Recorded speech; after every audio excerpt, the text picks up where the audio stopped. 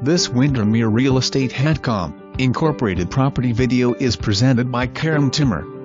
Beautiful top floor condo west incredible panoramic views of Drayton Harbor and Semiahmoo. Gourmet kitchen west granite, HDWD floors, stainless steel appliances, island west eating bar open to dining, living room west corner gas FPLC, picture windows and sliding door leading to oversized balcony.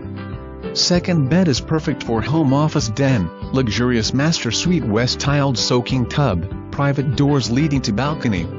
Secure gate entrance, just steps from elevator, community hot tub. Easy I-5 access for convenient commute.